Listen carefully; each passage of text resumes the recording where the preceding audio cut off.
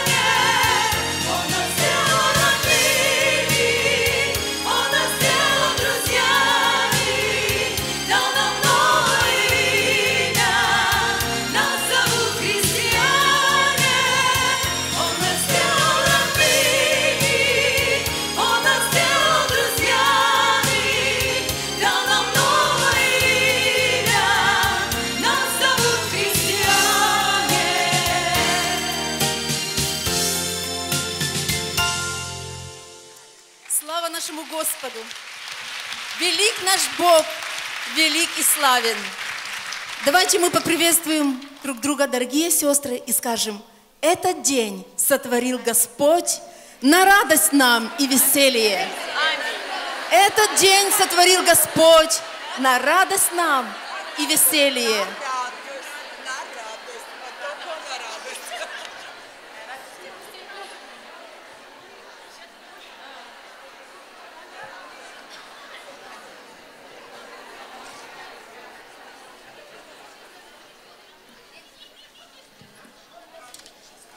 Мы приветствуем сегодня всех сестер, которые пришли на это место. Приветствуем сегодня всех, кто смотрит нас по онлайн. Пусть Бог благословит каждого во имя Иисуса Христа. Я хочу прочитать Исаии, 57 глава, 15 и 15 стих. Ибо так говорит высокий и превознесенный, вечно живущий, святой имя Его. Я живу на высоте небес и во святилище, и также сокрушенными и смиренными духом, чтобы оживлять дух смиренных и оживлять сердца сокрушенных. Я хочу сказать, дорогие сестры, сегодня Господь будет оживлять и сокрушать наше сердце. Сегодня свое сердце открой Иисусу. Он пришел сюда прежде, чем ты сюда пришла, дорогая сестра. Он ожидал этого момента уже давно. Он пришел, что- чтобы оживить тебя и сокрушить твое сердце. Вы знаете, Иисус возлюбил нас вечной любовью. Иисус любит нас, несмотря ни на что. Вы знаете, мы женщины, мы практичны. Мы часто спрашиваем у мужей, ты любишь меня или нет? А Иисус сказал, я вечной любовью возлюбил тебя. И мы настолько практичны, Иисус сказал, я твое имя даже кровью написал на своих руках. И скажи своей подруге, мое имя записано у Иисуса на долонях, на руках. Похвастайся этим, мое имя там записано.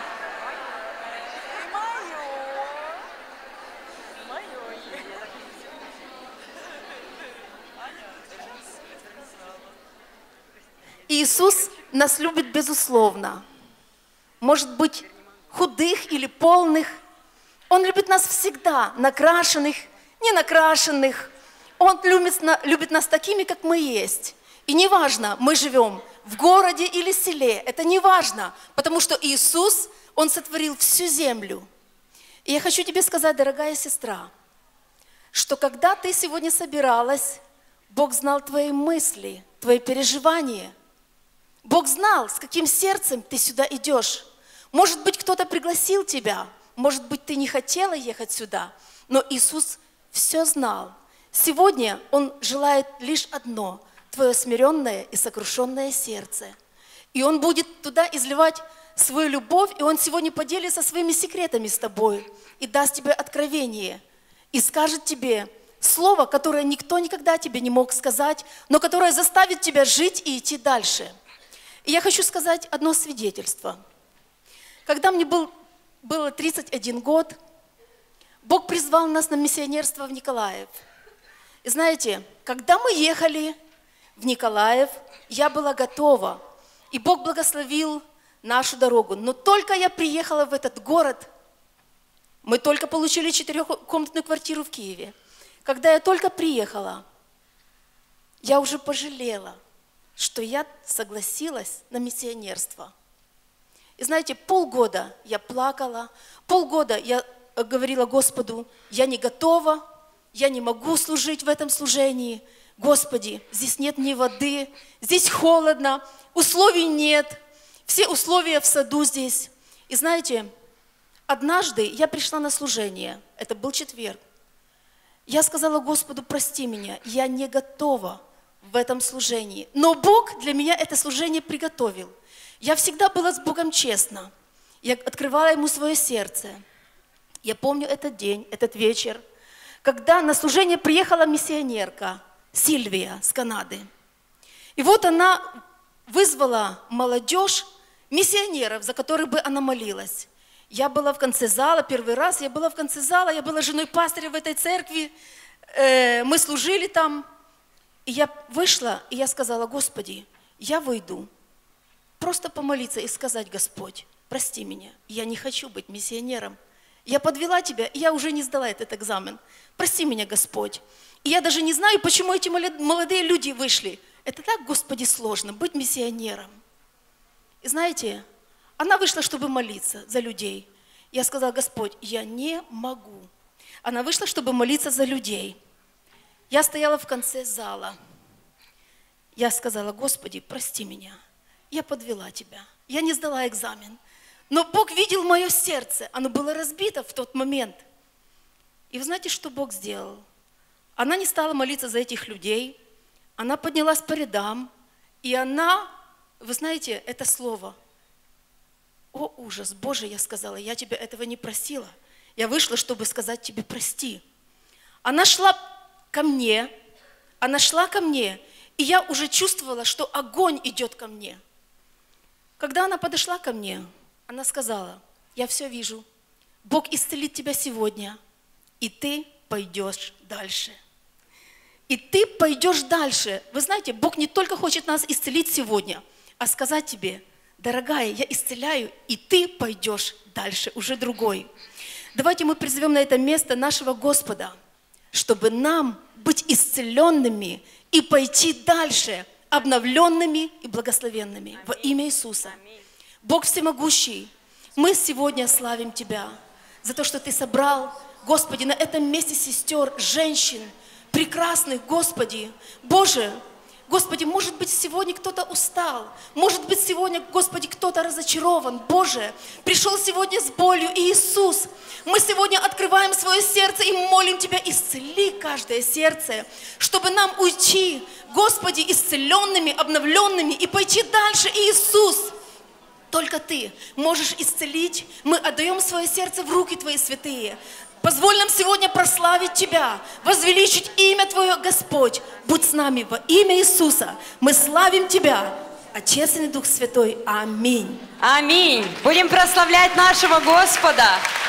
Аминь. Будем радоваться, будем петь, будем улыбаться, потому что Господь уже посреди нас. В Библии написано, где двое или трое, а нас вот сколько. Посмотрите вокруг, как много красоты, как много искренности. И красоты, сестры, женщины, девушки. Только мы можем прославить искренне и просто нашего Господа. Аминь. Давайте хлопать, давайте улыбаться для нашего Господа, для Царя Царей. Прославим Его, потому что Он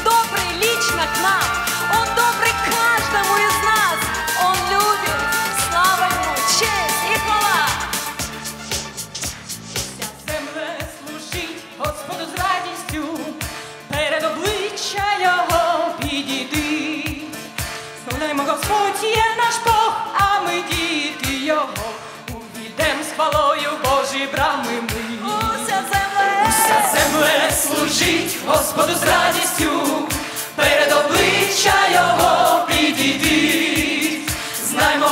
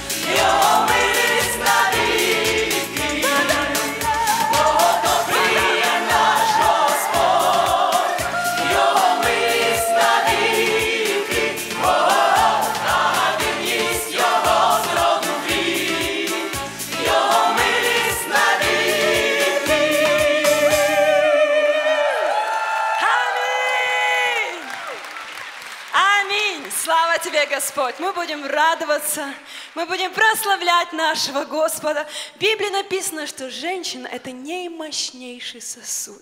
Она так скромна, она так э, ранима, она так легка. И Господь поднимает. Одна из молитв в Библии написана, помните, Анна молилась вначале за своего ребенка, когда Бог дал ей ребенка, она вознесла молитву благодарения. И написано, и сказала она, нету никого, кто сранился с тобой, потому что ты даже слабого Понимаешь?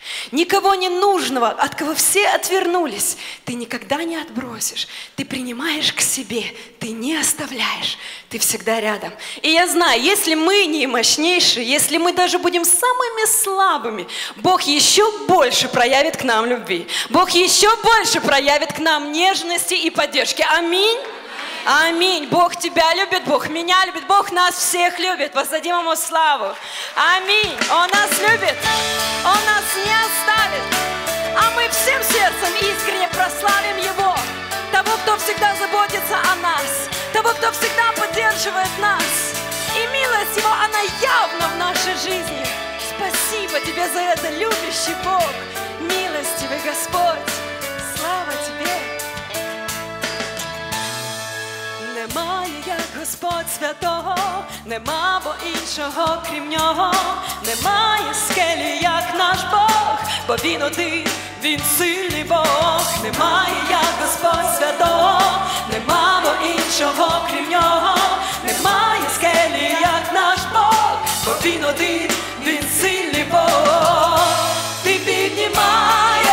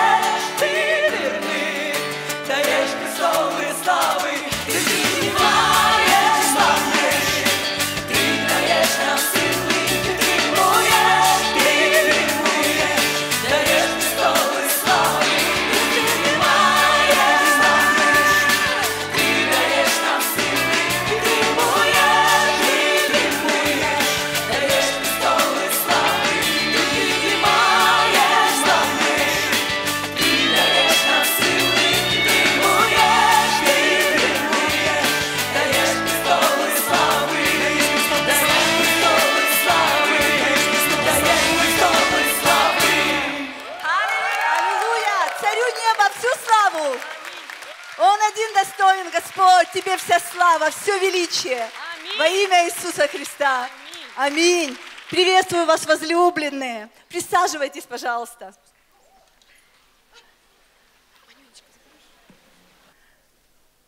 Дорогие сестры, здесь очень много, уже сестра Аня говорила, много красоты на этом месте, но вся эта красота, она должна присесть. Поэтому рядом с вами, если есть свободные места, пожалуйста, помашите рукой. И группа порядка поможет нашим сестричкам присесть. Там, где есть свободные места. Пожалуйста, сестры, у нас достаточно мест, чтобы мы все смогли очень комфортно себя чувствовать. На балконах, возможно.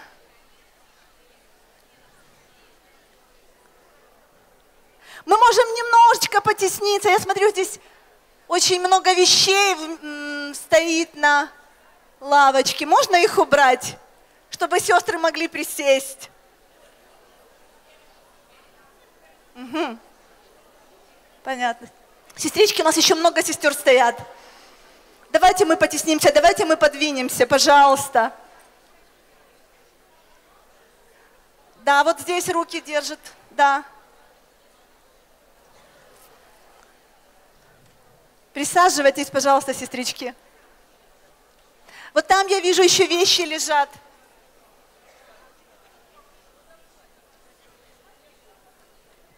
Ага, вот сестричка, пожалуйста. Давайте мы еще немножечко потеснимся.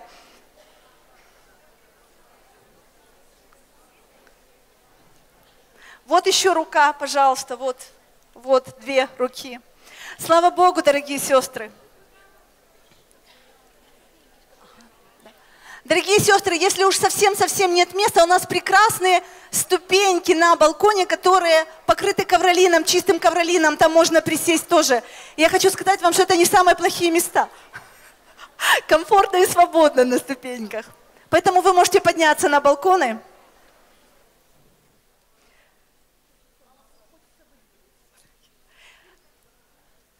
У нас также есть места в малом зале, но хотелось бы, чтобы мы все здесь поместились.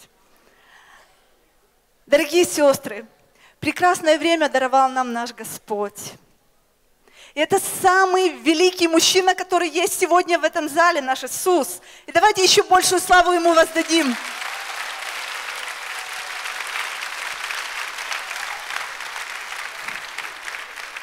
Он Духом Своим Святым пришел сюда, на это место, чтобы встретиться с каждой из нас лично – и я хотела бы зачитать место Писания, которое написано в Евангелии от Матфея, написаны замечательные слова. Прийдіть до мене усі, струджені та обтяжені, і я вас заспокою.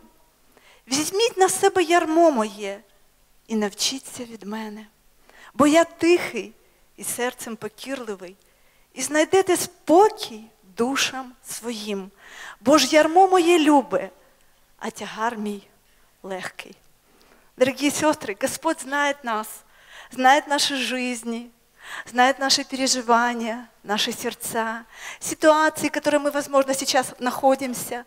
Дорогие мои, Господь хочет дать вам сегодня мир – ваше сердце. Он специально выделил для, для этого время, замечательное время женской конференции.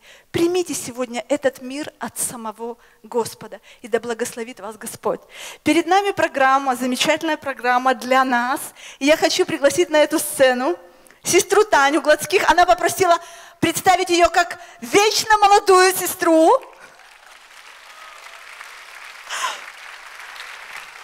Она сегодня исполнит для нас свою авторскую песню. Давайте мы еще ее поприветствуем.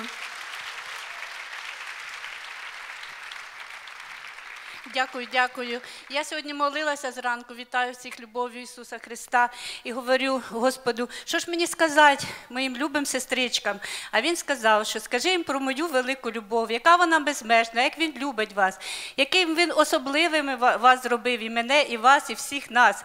І ця любов, нехай вона в ваших серцях живе, нехай щоб ви її пронесли через все своє життя, щоб е, цю любов вона світилася в вас, щоб е, бачили всі люди, щоб рідні, чоловіки, е, батьки, і щоб ви завжди були з Богом.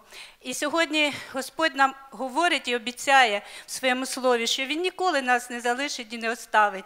І про це моя пісня.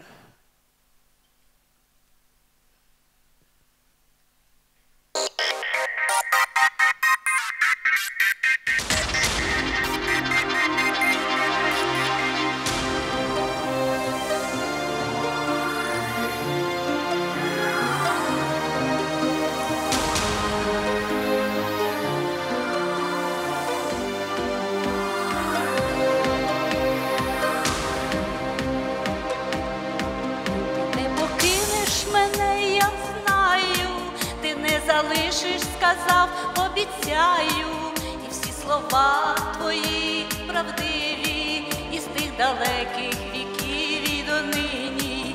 Ісус, ти зірка ясная,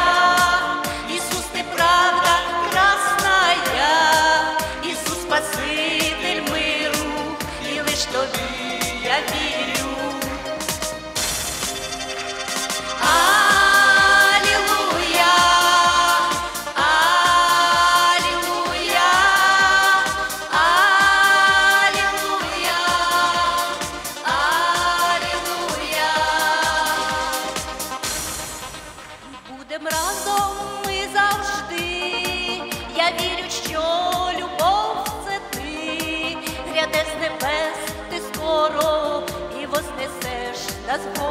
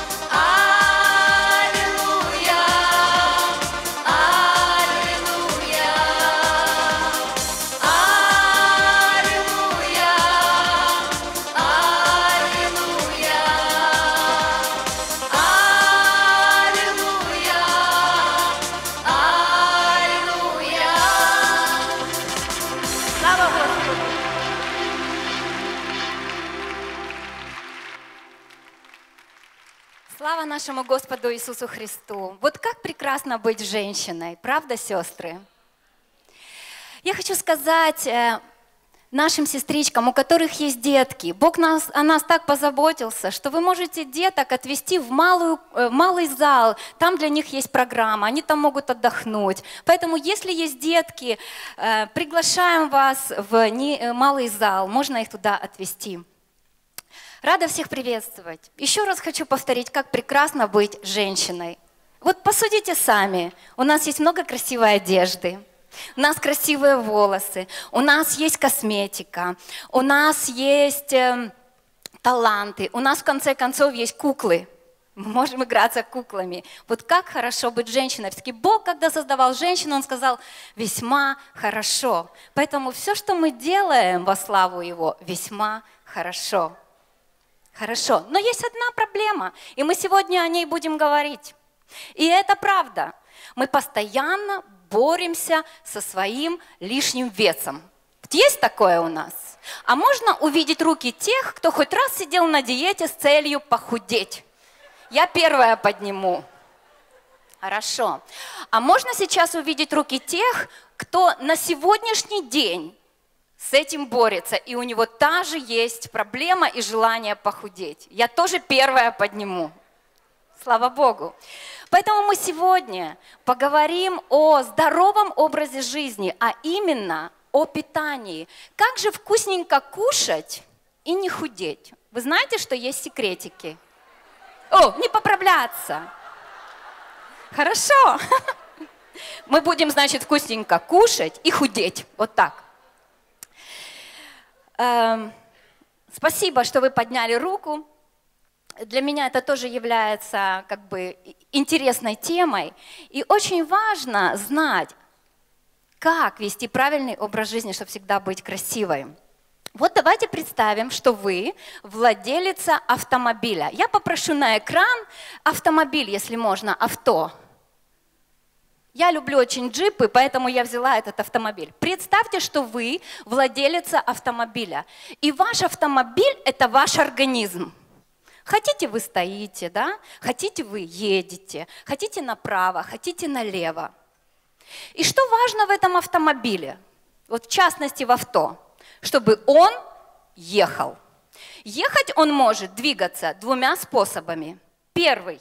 Мы можем его толкать. Он будет ехать? Будет. А можем сесть за руль, завести газ и поехать легко. Мы с вами, имея свой автомобиль, свой организм, сами выбираем, как двигать этим автомобилем.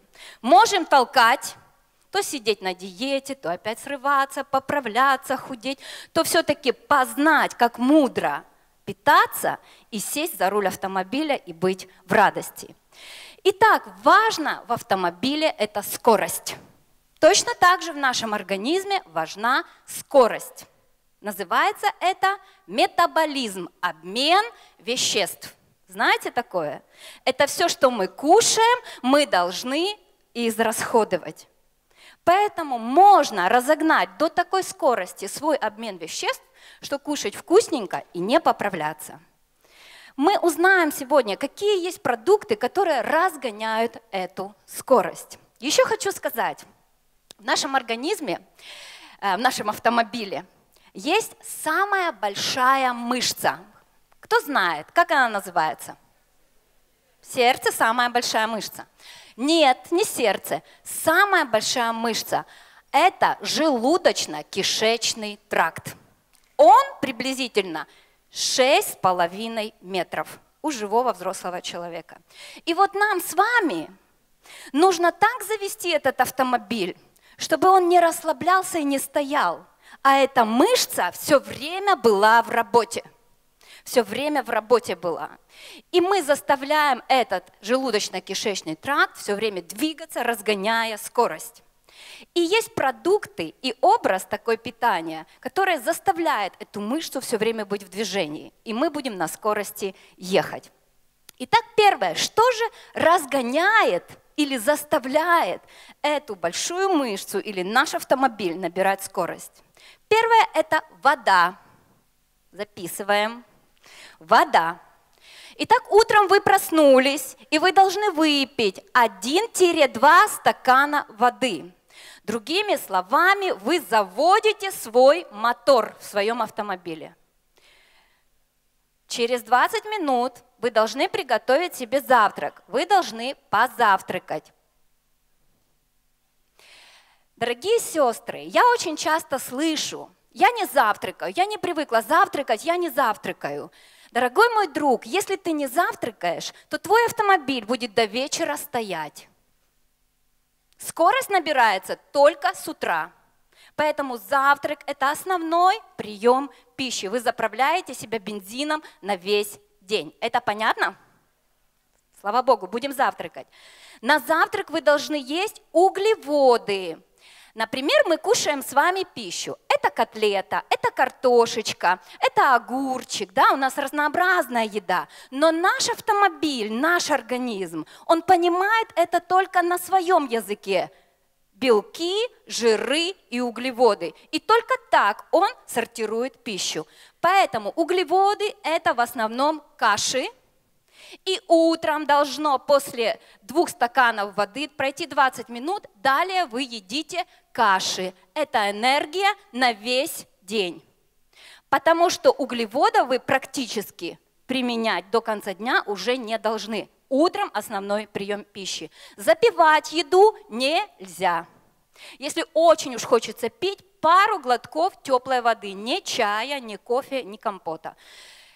Пить можно после 40 минут, э, когда пройдет время, после того, как вы э, позавтракали. Следующее, что у нас идет, И вот вы поехали, ваш автомобиль поехал, вы завели эту громаднейшую мышцу, она начинает работать. И уже вы не толкаете этот автомобиль, а вы уже сидите за рулем, и вам комфортно. Обед. На обед вы кушаете супчик, все, что вы любите. Ну, все, что полезно. Мяско, обязательно салаты включайте в рацион свой. Пообедали. Запивать обед нельзя. 40 минут э, после еды. И ужин. Вот на ужине я бы хотела остановиться немножко. Чтобы скорость нашего автомобиля была хорошей, мы должны понять одну вещь. После четырех часов углеводы мы не принимаем. То есть каши вы уже не едите, сладкое вы не едите после четырех, фрукты вы не едите, кроме грейпфрута, скажем так. Почему? Это углеводы. После четырех углеводы превращаются в жиры. Вот почему важен завтрак, вот почему важно в первой половине дня заправиться хорошо. Если вы не позавтракали утром, вы сорветесь на ужине. И ваш ваша скорость автомобиля будет притормаживать, и тогда вы будете поправляться. поправляться. Все дело в скорости. Что же есть на ужин? Только белки. К ним относится мясо, к ним относится творог, к ним относится э, кефир, э, зеленые овощи, рыба. Это можно кушать после четырех вечера. За три часа до сна можно кушать. Если вы ложитесь в 12, вы можете поужинать в 9 часов вечера. В это режим питания, правильный режим питания. Между завтраком, обедом и ужином есть два перекуса. Два перекуса. Это где-то в середине себе два часа прошло после завтрака или после обеда. Что такое перекус? Орехи, фрукты. Если очень любите сладкое, то, конечно же, можно конфетку до 12 съесть. Все такое, что вы любите и, не, и замедляет скорость, ешьте в первой половине дня. И таким образом мы заставим наш автомобиль, наш организм не накапливать жиры да, и лишние килограммы, а заставим его работать. Вот эту большую мышцу, этот тракт 6 метров, он будет работать и переваривать пищу. Ошибка какая? Сестры, голодать это не значит худеть. Если мы голодаем, организм очень умный, мы дивно устроены. Он начнет откладывать в депо. Он должен знать, что вы его всегда вовремя покормите, что ему будет хорошо, что вы о нем позаботитесь. Итак, есть такие продукты, которые очень сильно заставляют набирать скорость, то есть худеть. Я хочу, чтобы вы их запомнили. Первое – это мясо, это белок. Второе – это спаржа, либо э, белокочанная капуста. Зеленый чай. Зеленый чай. К ним также относится вода. Вода – сжигатель жира. 2,5 литра обязательно ежедневно нужно выпивать. Она омолаживает нас, выводит токсины, свободные радикалы, все выводит плохое из нашего организма. Хочу обратить ваше внимание на специи. Корица, мощнейший сжигатель жира. Она настолько разгоняет скорость твоего автомобиля. Перец чили, имбирь. Все это ускоряет обменные процессы обменные процессы. А что же делать, если хочется вкусненького, что никогда нельзя не есть тортиков, нельзя кушать сладкого, как же тогда жить? Можно. Один раз в неделю, это воскресенье, до четырех вечера. Вы можете съесть все, что вы любите. Хотите пражский торт, хотите халву, вот все, что вы хотите. Насладитесь вкусняшкой, но с условием, что с понедельника вы опять войдете в режим. Опять войдете в режим. К примеру, чтобы переварить мясо и клетчатку, ваш вот этот вот желудочно-кишечный тракт, он в шоке, когда вы ему даете кушать. Чтобы его переварить, он тратит много калорий, много энергии и забирает эту энергию с э, жировых тканей, где она откладывается. Поэтому за нами выбор или толкать автомобиль, или все-таки сесть, правильно питаться и э, набирать скорость. Все дело в скорости. Это все, что я хотела вам сказать. Еще также спорт. Подключите спорт и фитнес. Какой вы любите? Хочу сказать такую поговорку. Завтракай, как королева. Обедай, как, как королева. Ужинай, как королева, потому что ты королева. И давайте поднимемся. Наш Господь Иисус Христос, Он настолько о нас заботится, Он дает нам мудрые советы. Он учит нас, как правильно питаться, как быть мудрыми. Он нас красиво одевает, Он заботится о нас. И знаете, что меня восхищает в нем?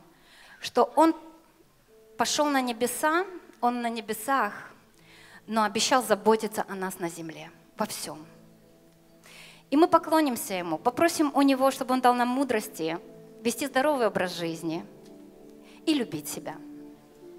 Дорогой Господь Иисус, мы благословляем Твое святое имя. Мы так благодарны Тебе, что Ты учишь нас таким простым практическим вещам. Мы просим Тебя, дай нам мудрости, дай нам здравомыслия, дай нам сил всегда быть здоровыми, грамотно питаться, знать, как вести этот здоровый образ жизни. Дай нам любовь к спорту, дай нам любовь к красоте. Научи нас, Господи, быть достойными Тебя.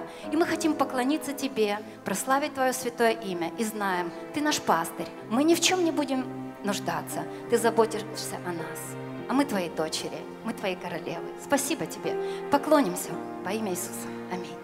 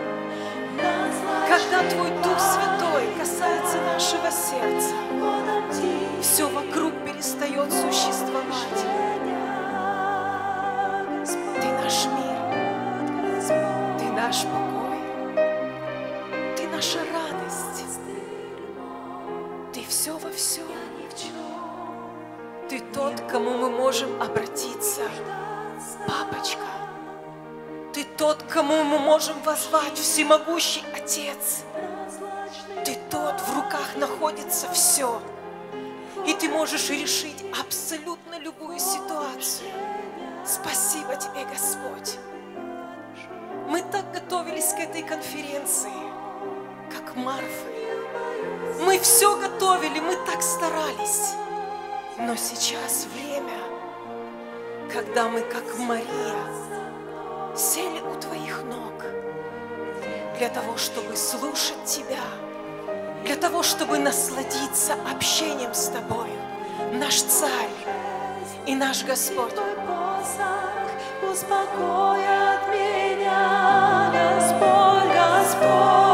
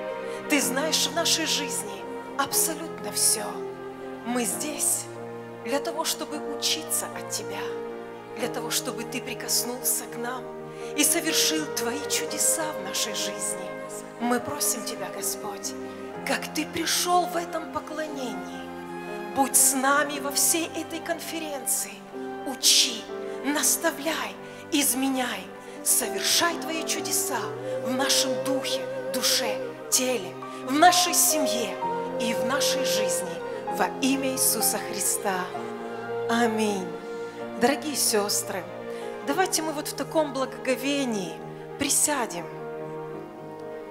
Так хорошо быть в Божьем присутствии, так хорошо, когда наш Господь, наш Отец с нами. И я хочу для слова пригласить на эту сцену чудеснейшую, прекрасную сестру, очень красивую женщину, замечательного служителя, добрую, любящую, заботливую маму шестерых детей. Пятеро – это ее родные дети, и одного ребенка они с мужем усыновили. Чудесного служителя и жену епископа из Крыма, Светлану Прибещук. Давайте поприветствуем ее. Сестра Светочка, проходите, пожалуйста. Нам так приятно, что вы приехали послужить нам. Пусть Бог благословит вас, а мы слушаем. Слава Богу, вы знаете, на самом деле мне очень приятно быть здесь, только даже потому, что мы во Христе одна семья. Правда? Здорово так, куда не приедешь, в какой город не приедешь и найдешь церковь, ты понимаешь, что это родные сестры, родные братья. Даже друг другу скажите, ты моя сестра. Вот знаете, это так приятно, правда. Ведь мы одна семья, это замечательно, просто замечательно.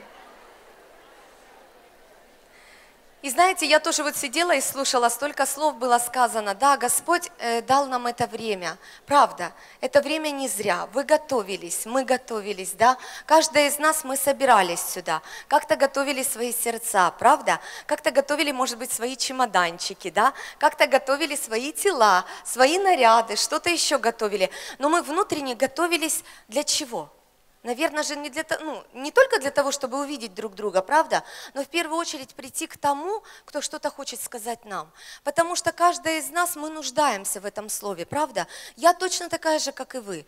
Я тоже бывает грущу, бывает унываю, бывает руки опускаю, бывает боюсь, бывает улыбаюсь, бывает смеюсь, бывает ободряю, а бывает меня ободряют. То есть мы все одинаковые, правда? И мы все нуждаемся как в друг дружке, точно так же мы нуждаемся и в Господе.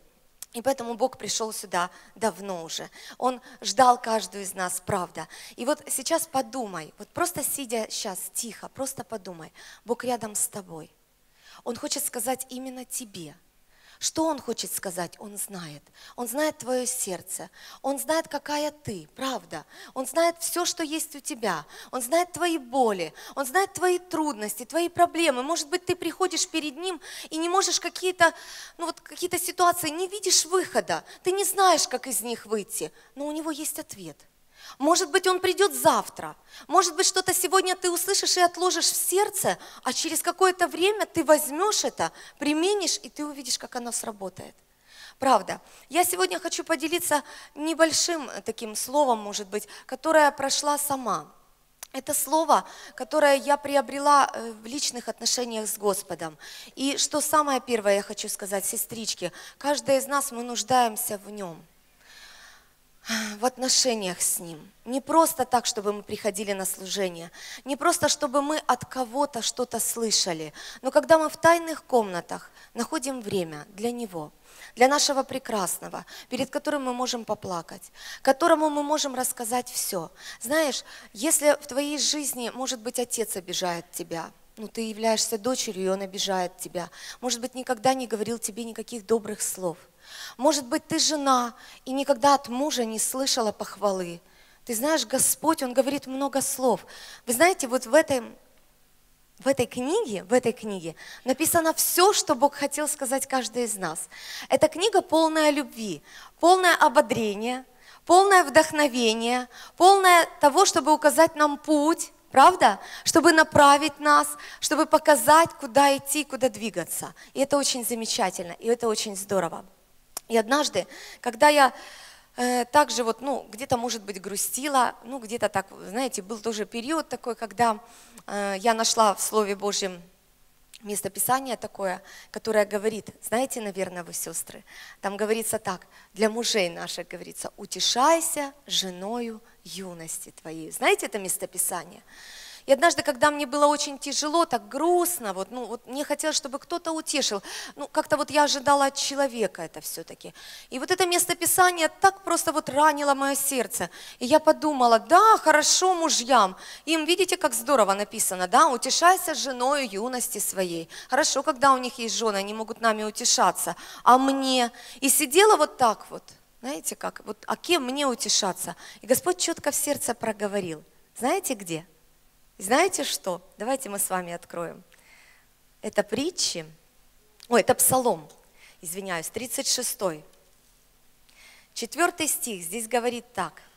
«Утешайся Господом, и Он исполнит желание сердца твоего. Вы знаете, куда все ушло, куда ушла эта тяжесть? Я просто села и стала разговаривать с Ним. Я поняла, что Господь, Он мой первый, кто может слышать меня, тот, который может сказать мне, тот, кто ободрит меня, Он знает, что у меня, и Он знает, как выйти мне навстречу. И Бог стал кое-что мне показывать. В тот момент жизни, в тот, ну, это начальный период моей семейной жизни, да, Бог показал мне очень интересную картину. Он показал мне корабль, я поделюсь с вами, и, может быть, вы тогда поймете. Э, То есть, почему корабль? То есть, он мне показал, что семья подобна кораблю. Вот смотрите, когда мы заключаем завет друг с другом, то есть жены заключают завет с мужьями, мужья с женами, да? когда образуется новая семья, это все равно, что построился новый корабль, и он его поставили на воду. Правда? И вот впереди него что? Открытое море, да, и он выходит в плавание. На борту этого корабля есть кто? Главный, ответственный, да, и понятно, что есть кто? Помощник, правда. Ну и остальных мы пока считать не будем и говорить за них пока не будем. Они потом появляются со временем. Вот. Ну, за главных двух, правда, мы же жены тут, ну, женщины, да? Вот. И вот смотрите, что, оказывается, э, наша семья, она подобна кораблю. И вот она выходит в море. Для чего она выходит в море? Для чего корабль выходит в море? Если всю жизнь корабль просто носится по волнам, по морю, то смысл этого корабля? Какая цель у корабля? Корабль должен иметь какую-то цель, он должен прийти к какой-то цели, он должен иметь направление, куда двигаться. Правда или нет? Ну правда, он выплывает в море. Так вот наша жизнь – это как вот это море, которое бывает и тихое, бывает и бурное, правда? Бывает ночи, бывают дни, бывают рифы, бывают скалы, бывает мель, правда? То есть бывает все. Ветер бывает, бывает штиль, тихо и хорошо, бывает солнышко. Это наша жизнь. И когда мы с вами начинаем эту новую жизнь, семейную жизнь, мы выплываем, мы от, отправляемся с вами в открытое море. Куда мы плывем? Какое направление мы имеем? И знаете, Господь в мое сердце положил такое понимание, что главный на корабле кто? Муж, правильно. Но мы сейчас не берем Господа, Господь правда, без Него никуда, правда? На самом деле муж глава семьи, и Бог так говорит, это желание Бога, он глава семьи. И муж имеет определенное предназначение и направление, которое Бог влаживает в его сердце. На самом деле это так. Бог говорит, что Он сотворил, помните в Бытие, Бог говорит о том, что Он сотворил первого человека, да, мужчину, а затем что? Он посмотрел и не нашлось кого? Помощницы не нашлось. Мы знаем, что было плохо, да, Бог сказал, что плохо одному человеку, да, и что Он сказал? Сотворим помощницу. То есть не нашлось помощницы, и он сотворил. Но кого он сотворил? Там не написано, что он сотворил командира, главу или капитана корабля. Он сотворил помощницу. И вот созданы эти двое, которые есть тоже на корабле, да? Главный капитан, да, и помощник его. И смотрите, какие ситуации бывают. Я почему об этом говорю? Потому что ну, хочется вас ободрить, во-первых, чтобы вы немножко посмотрели на свою жизнь и увидели, в каком состоянии вы находитесь. И вышли из этого состояния, если это неправильное состояние. Если оно правильное, то утвердились и дальше шли, и других учили. Мы можем на самом деле быть в разных состояниях, и мы можем этим, ну, этому кораблю помогать идти в правильном направлении, правда, нашему капитану, либо что делать? Мешать, правда, не бойтесь этого слова, мешать. И вот я хочу сегодня, чтобы мы поговорили о трех состояниях жен, в которых мы бываем. Хорошо? Три состояния жены. Может быть, они немножко будут для вас звучать так для ушей резко, но для меня они ну, понятны и четкие. Поэтому я буду их так вот называть, как для меня Господь показал просто это. Да? Первое – это когда пал, э, ну, такое состояние жены палка в колесе. Сейчас мы с вами поговорим. Знаете, у мужчины, мы согласимся с вами с тем, что на самом деле у мужчины есть призвание, правда? Правда?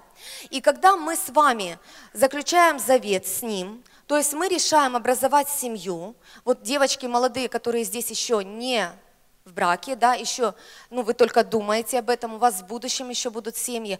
Пожалуйста, не просто выходите замуж, узнавайте, что есть у парней, какая у него есть цель, какое есть предназначение, и готовы ли вы стать ему помощницей, стать ему той, которая будет рядом, чтобы помочь, чтобы дело Божье, оно состоялось.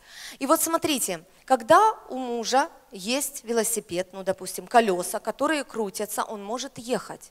Но когда палка есть в колесе, скажите, легко ехать? Ужасно тяжело. Просто невозможно движение. Так когда же это бывает?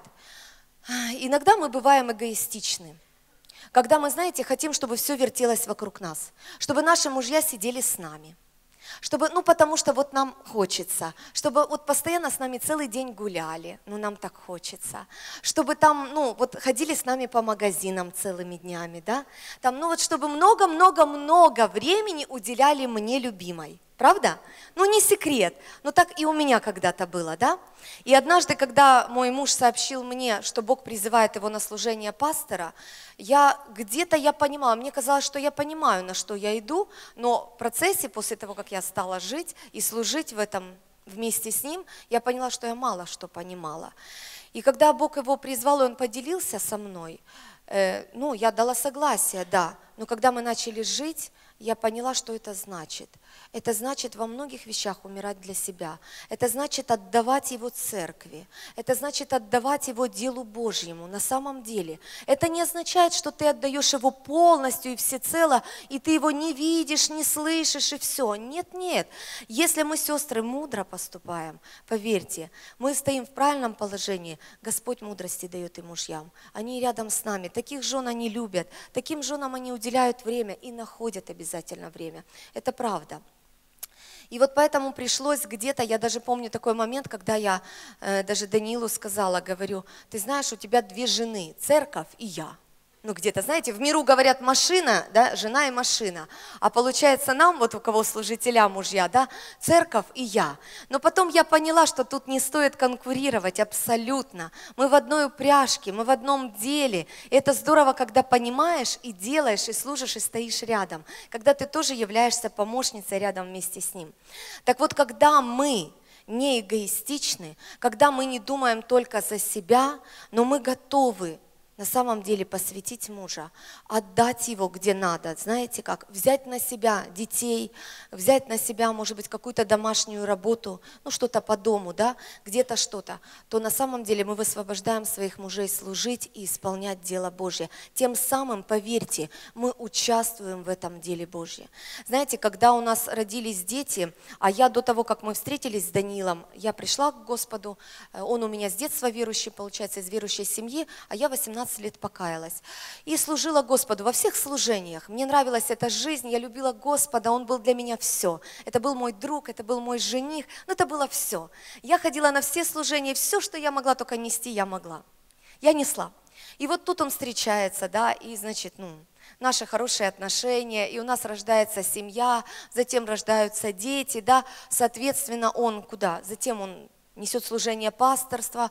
Я не могу уже столько времени посвящать служению. И передо мной стал вопрос, или я бегаю опять по этим служениям, продолжаю, да? Я могла ведь сказать, ну, Даниил, знаешь, я служила, мне это нравится, и я хочу продолжать. Ну, да? Заявить так.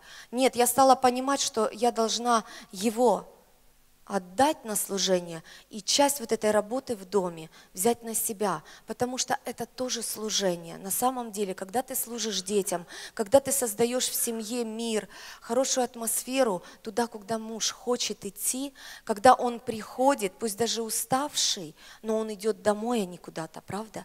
Пусть даже он падает на кровать и засыпает, и, может быть, не находит для тебя времени выслушать тебя, а у тебя за целый день столько накопилось. Тебе хочется вот он зайдет, и тебе кажется, вот сядет, и я ему все выпалю, да, с утра и до вечера, что случилось.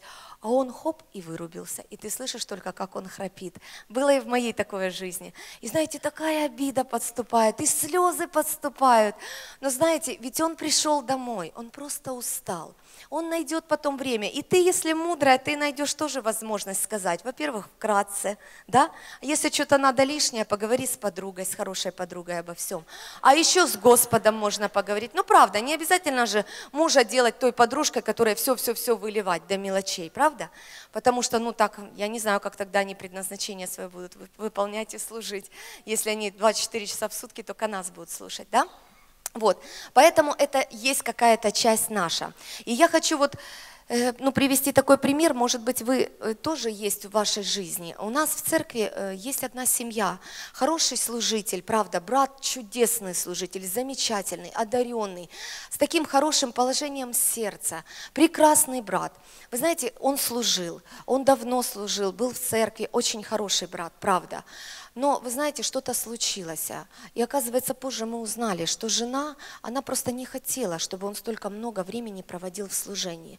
На самом деле, когда мы учимся молодые, да, когда вообще мы начинаем, знаете, покаялись и начинаем служить, мы иногда, конечно, перегибаем палку, мы много времени, ну, в служении, да, находимся, может быть, запускаем свои дома или что-то, но ничего, если мы с Господом, мы выравниваемся, слава Богу за лидеров домашних групп, куда мы ходим, правда? Потому что они помогают нам выровняться, этот баланс, чтобы у нас появился. И вот также у них возник такой момент, когда жена, она просто не захотела, чтобы он много времени проводил. Она стала его просить, чтобы он был дома. Э, Затем там, ну, начался у них еще разные бытовые дела, бытовые разные, разные, разные, разные, чтобы деньги приносил и так далее, и так далее. И он ради семейных отношений, он стал все меньше и меньше быть в служении, отказался от служения, затем перестал ходить в церковь. И на данный момент полностью вся семья, ни отец, ни мать, ну то есть ни муж, ни жена, ни дети, они не ходят на служение. Это очень жалко. Очень плохо, это очень тяжело на это смотреть. Поэтому от нас очень много зависит. Правда, в каком положении мы с вами жены. И другой момент, это тоже, когда мы палкой в колесе можем быть, когда женщина может властвовать. Знаете, мы с вами разные. Иногда, э, ну не иногда, есть женщины такие, которые мы, ну не мы, да, ну, или мы, пусть будет так, да, мы любим командовать. Вот мы любим так, чтобы по-нашему там было. Вот сказали и сделали, и мы уверены, мы до брака мы были такие, потому что мы сказали, было сделано, это было правильно, мы все проконтролировали. И тут мы уже живем в семье, да, у нас есть муж, а еще, знаете, когда попадается так, что муж, он, ну, такой более пассивный, да, ну, не особо у него что-то получается, а у жены все схвачено, за все заплачено. Она по счетам может оплатить, она везде может договориться, везде прозвонила, все, сделала, все, она на коне. И она считает себя кем? Главой, честно, не бойтесь этого слова, правда? Она считает, что все, она ведет, она у руля.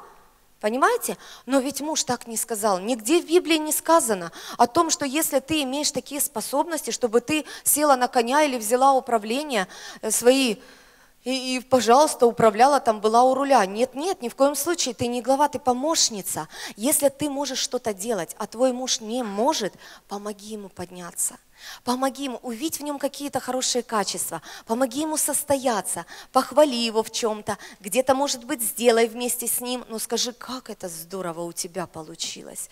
Помоги ему. То есть, если у тебя хорошо получилось, помоги ему подняться, чтобы он на самом деле почувствовал себя лидером. Это так здорово, правда. Поэтому мы можем, еще раз, да, повторюсь, это тогда, когда мы эгоистичны, мы можем быть палками в колесах, да, когда мы вокруг себя все крутим, и это тогда, когда мы властвуем, или, может быть, еще, я помню одну семейную пару, которая тоже приходила к нам часто домой, и я наблюдала так, как, э, как жена, просто зная отрицательные какие-то минусы своего мужа, она просто высмеивала и унижала его в присутствии других. Это так было неприятно. И муж ради, послушайте, ради того, чтобы сохранить семью, потому что были дети. Ради того, чтобы семья сохранилась, он терпел эти унижения. Я не знаю, он не знал своего призвания, и вообще он забыл уже о своем призвании. Он просто хранил семью, он просто хранил эти какие-то, вот я не знаю, какие отношения. Понимаете? Насколько многое зависит от нас. Поэтому ни в коем случае, ни в присутствии других, мы, кто, ну, никто не знает, правильно, минусы, как только жена своих мужей. Мы же знаем, правда? Поэтому мы даны для того, чтобы помочь. Найди в себе плюсы, чтобы покрыть, правда? Чтобы помочь. Если он не умеет договориться, пойди ты, да? Если он что-то другое не умеет, ты можешь сделать, сделай, но не присваивай это себе. Пусть это будет от вашей семьи, пусть это от него будет. Сделай это мудро. Второе, это как такое состояние, э, я его назвала так, моя хата с краю, ничего не знаю. Сейчас я расскажу почему. Иногда такое состояние приходит к нам, знаете, когда? Когда мы терпим много обид, вот со стороны мужей своих. Нас обидел он там, вот как-то не, не выслушал там, может быть, мы, знаете, он какое-то служение несет, мы там ему посоветовали, а он отверг совет где-то, или как-то вот, ну, пренебрег нами, и мы так хоп, обиду затаили. И когда это много-много, мы уже, знаете, занимаем такое положение, что, ай, ну и делай свое дело сам, а я буду себе спокойно то растить детей, свои дела делать по дому и будем жить, знаете, под одной крышей, тихо, спокойно и мирно. Этот мнимый мир, знаете, мы думаем, что мы сохраним этот мнимый мир. Вот так вот, когда мы храним. Но это тоже неправильно, потому что мужья наши, они те же человеки. Они тоже, к сожалению, человеки. И у них тоже есть недостатки. Понимаете? Они тоже могут ошибаться.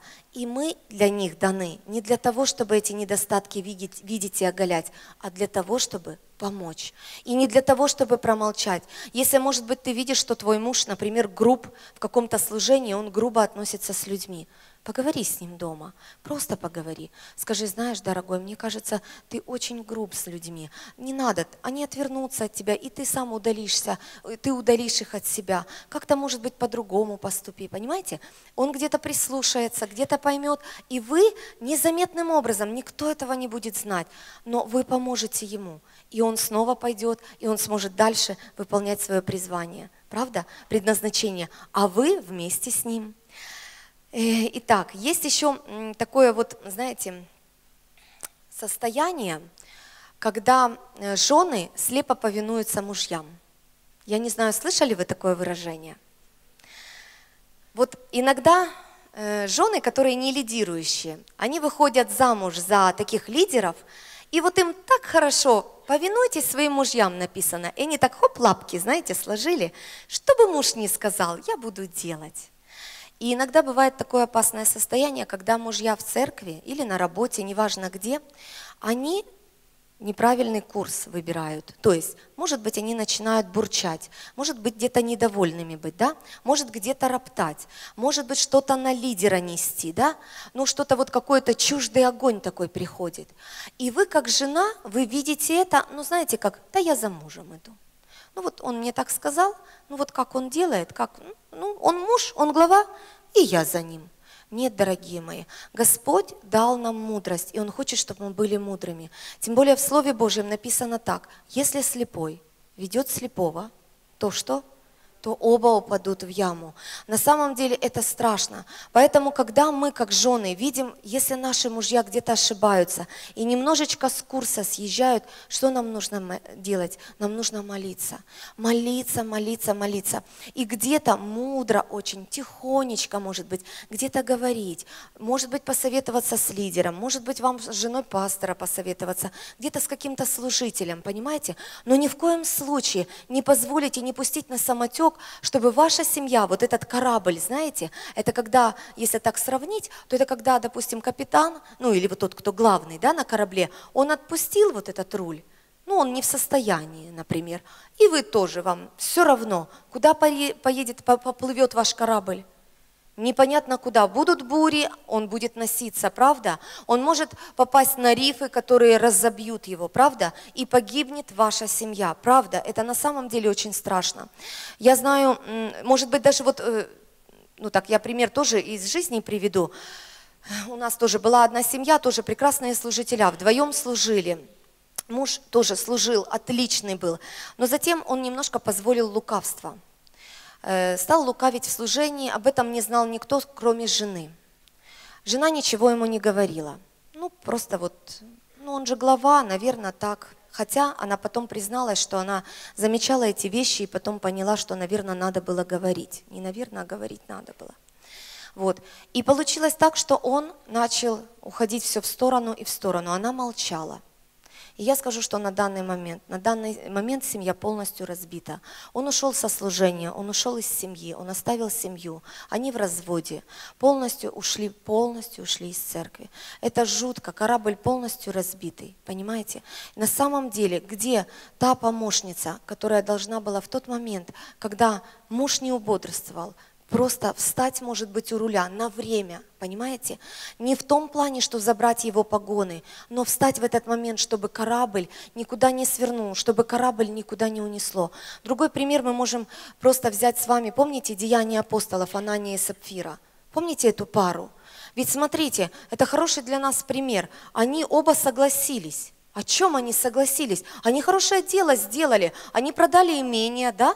Тогда многие продавали и приносили к ногам апостолов деньги, за которые продавали имение. И они тоже продали, но часть скрыли, и договорились, что давай мы принесем другую часть и скажем, что за это мы продали. Да? Помните этот момент? И они так и пришли. Пришел сначала один. Я не знаю, чья это идея была. Но я понимаю четко, что кто-то из них один, кто подал идею, то второй, он не убодрствовал, он согласился. Согласился в грехе. И что получилось?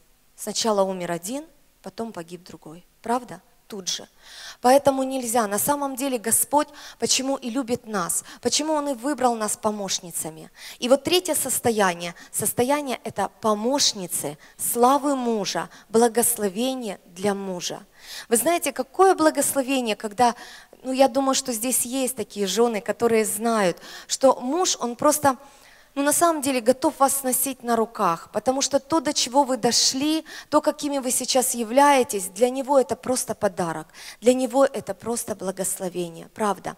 И почему я назвала это три состояния? Потому что состояние – это непостоянное, это то, из чего мы можем выйти – и прийти в другое состояние, правда? То есть, если ты находишься в первом состоянии или во втором, ты можешь, если ты понимаешь и не хочешь в нем оставаться, ты можешь просить у Господа, и мы будем сейчас об этом молиться.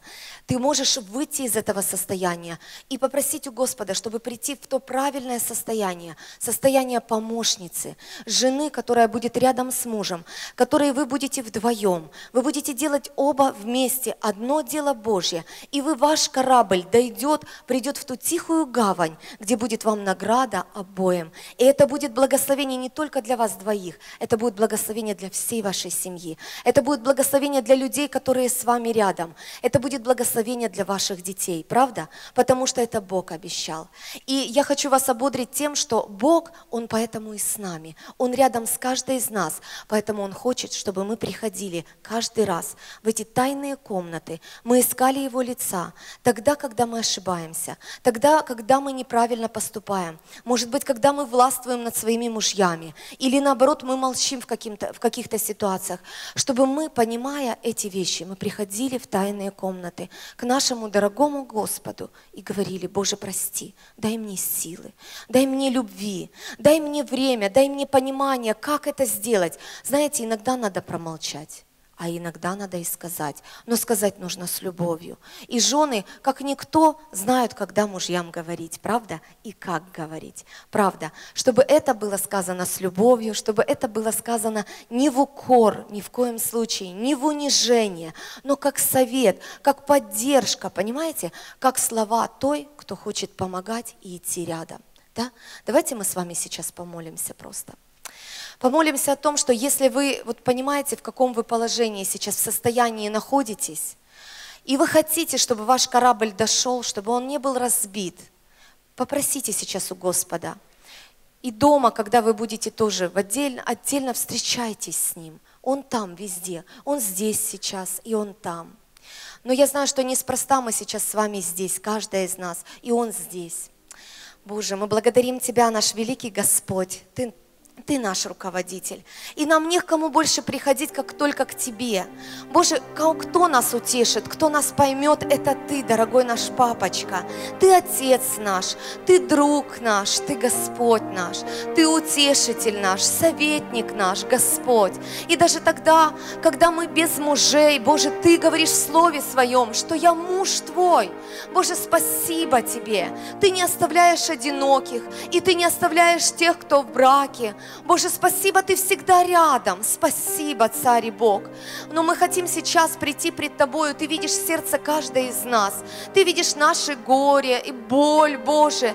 Ты видишь, может быть, те слова, которые мы, которыми мы ранили своих мужей, Господь. Которыми мы, может быть, препятствовали для того, чтобы они и мы вместе шли в Твоем предназначении. В том, что Ты положил нашим мужьям сердца, Господь. А может быть, кто-то из сестер здесь есть, кто уже давно молится за своего мужа, и он никак не может прийти к тебе. И это всего лишь причина в ее поведении, Господи. Просто ей нужно поменять отношения. Пожалуйста, Дух Святой, скажи об этом, скажи ты, помоги, ты помощник. Мы каждая нуждаемся в тебе. Мы нуждаемся, чтобы ты руководил нами, чтобы ты направлял, Господь, чтобы каждый из нас в сердце ты давал четкое понимание – Для чего Ты нас создал? Для чего Ты нас призвал, Господь? Где наше место? Боже, вложи наши сердца нежность и любовь, Господь.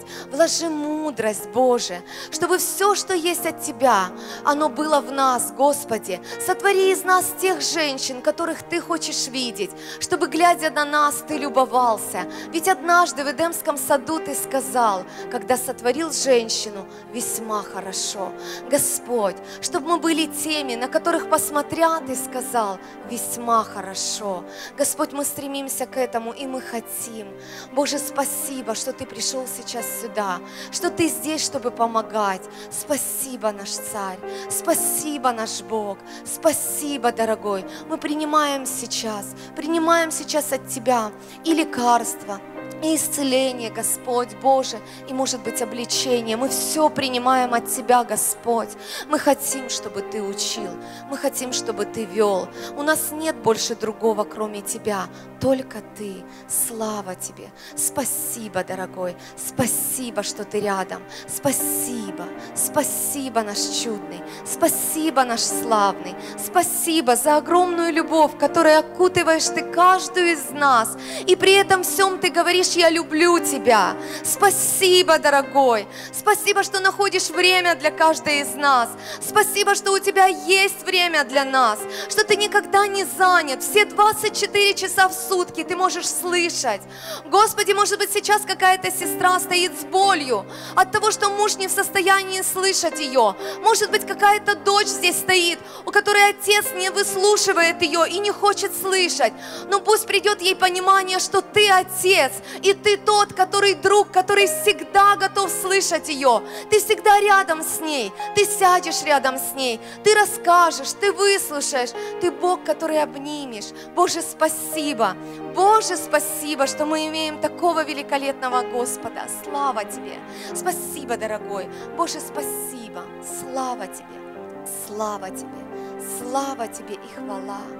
Аллилуйя, Господь. Аллилуйя. Аминь.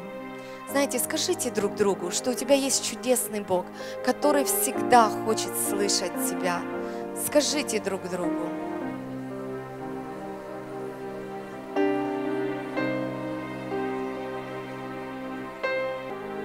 Слава Богу. Дорогие сестры, давайте мы поприветствуем нашу сестру Светлану. Спасибо вам огромное за такое великолепное слово от Бога для каждой из нас.